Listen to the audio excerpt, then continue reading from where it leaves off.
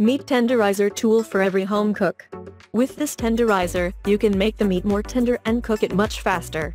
According to the manufacturer, on average it'll take 40% less time to cook also the device will come in handy if you need to marinate meat faster. The weight of the device is 0.3 pounds, the needles are made of stainless steel and the body is made of ABS plastic. The diameter of the working area is about 2 inches and a special attachment helps to work safely. The process will be much less noisy than with regular tenderizers. So, there you have it. Meat Tenderizer Tool Review. If you like the video, please leave a like, and if you're new, subscribe down below. Thank you so much for watching, until next time.